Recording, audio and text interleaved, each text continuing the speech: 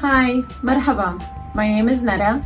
My family and I participated for 2020 census for the first time this year. We are a party of four. It took me about five and a half minutes.